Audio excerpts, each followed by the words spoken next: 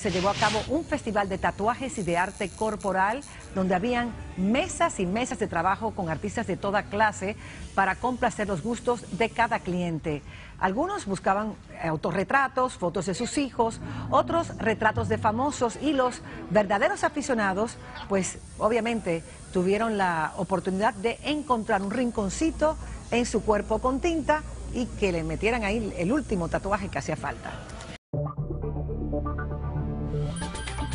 Cada vez que la vida nos estremece inesperadamente, nos damos cita e investigamos para que tú estés bien informado.